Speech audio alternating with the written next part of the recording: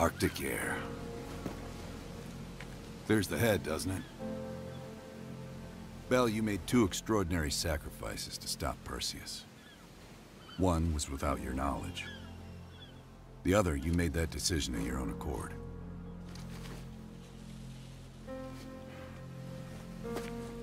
I just want you to know that this little thing that's happened with you and me,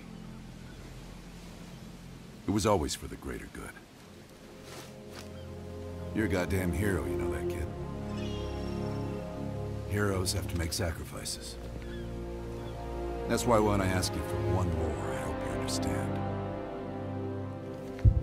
It was never personal.